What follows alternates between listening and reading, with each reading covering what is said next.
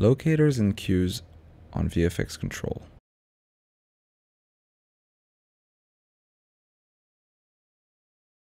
Locator and cues are functions which create a specific entry point in the media. The locator module is positioned on the lower right hand side of each player on the interface, circled in red. There are four locators available on each interface. They correspond to the four locator buttons that are on the controller as well. The auto cue point. By default, VFX will set a cue point in the first beat of a track. This function is designed to be able to help you skip automatically all the intros. This function can be deactivated in the preferences. How do you create locators? Let's create a locator instead of a cue point while the track is on pause. A red mark appears on the track wave. Once recorded, locator number 1 becomes red on the interface and the light turns on on the controller. Now let's create another locator further down the track. I'm going to record another locator further down the track. I'm just waiting for the right location in the track to put my locator. Please be mindful that the locators need to be precisely recorded. Here we go, we have locators 1 and 2 ready. Now I will briefly demonstrate how to use those in the mix.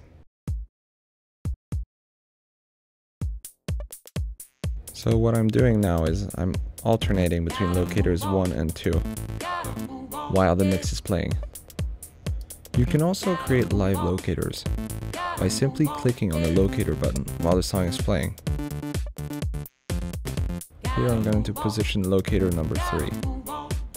I'm waiting for the right timing. If the locator is not perfectly positioned, you can adjust them with the mouse. I'm moving back to the song to readjust locator number 3. I'm using the touch sensitive jog wheel.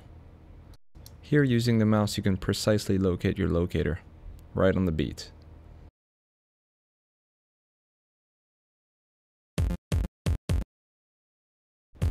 Locators are great mixing tools for live remixes.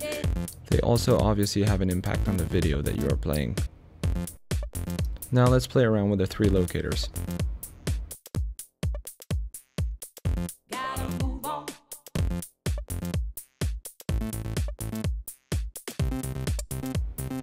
Here I'm adding the fourth one. You can see in the general track wave, above the player command, where the locators are positioned. Each locator has a matching color, which corresponds to the number 1, 2, 3, or 4.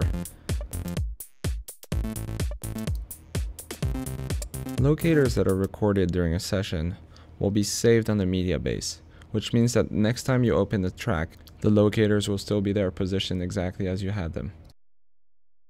For example, here, I'm reloading the media, and you'll see that the locators are still existing.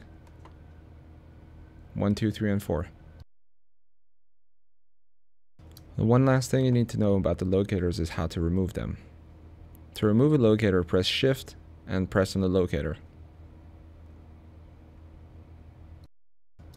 Thank you for watching this tutorial on locators. For more information, go to www.mixvibes.com.